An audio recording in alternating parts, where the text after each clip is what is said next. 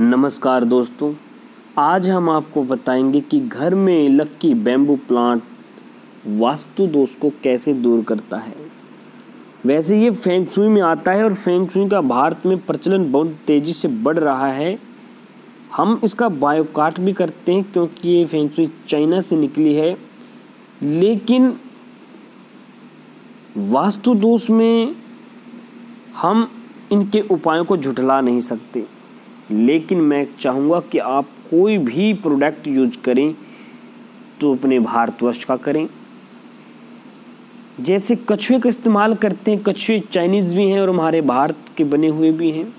लेकिन कछुओं को महत्व जितना चाइनीज़ या फेंगसुई में दिया है, उससे कई गुना हमारे ज्योतिष में दिया है। क्योंकि कुरुम अवतार, कछुए अवतार श्री विष्णु भगवान जी थे और पूजन में, वास्तु में उनका बड़ा महत्व है। चलो, इसकी बात अगली वीडियो में करेंगे।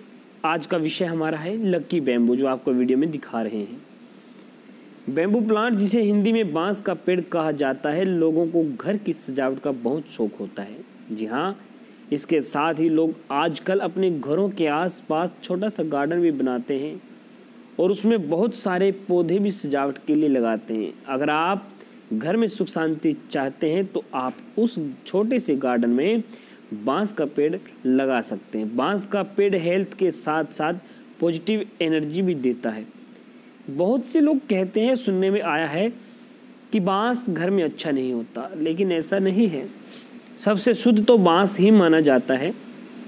आइए जानते हैं बाँस का पेड़ लगाने के कुछ फ़ायदे।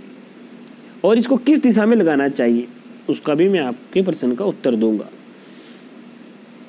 बाँस का पेड़ लगाने के बहुत सारे फ़ायदे हैं, जैसे फेंगसुई को, जो चीन का वास्तुशास्त्र है, उसके अनुसार घर में बाँस का पेड़ लगाने से खुशी का माहौल रहता है और मेल जोल बढ़ता है।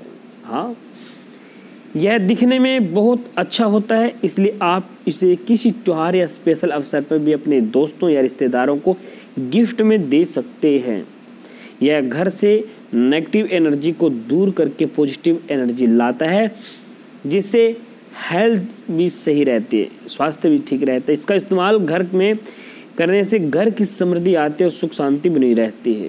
बाँस का पेड़ को घर में लगाने से घर से बीमारियाँ दूर होती हैं। घर में अगर कोई ना कोई बीमार रहता है तो स्वास्थ्य के लिए अच्छा होता है।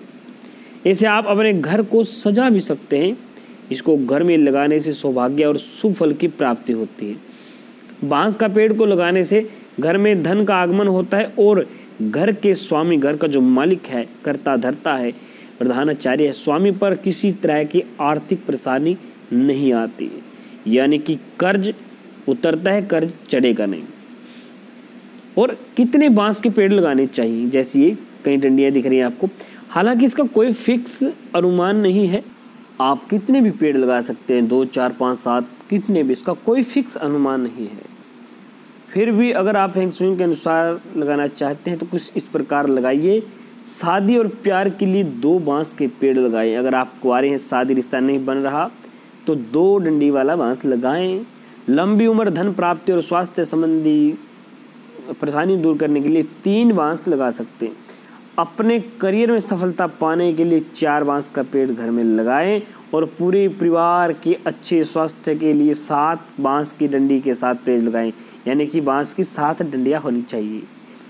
मानसिक शांति के लिए दस बाँस का पेड़ लगाएँ। बिल्कुल हाँ। बाँस का पेड़ दक्षिण पूर्व दिशा में लगाना बेहतर माना जाता है क्योंकि इस दिशा में लगाने से घर में शांति बनी रहती है और धन का आगमन होता है। बाँस का पेड़ लगते समय मतलब जब आप रखोगे, ध्यान रखें कि इसे खिड़की के आसपास ऐसी जगह पर ना रखें जहाँ धूप सीधी आती हो। इससे पौधा जल जाएगा और ख़राब हो जाएगा।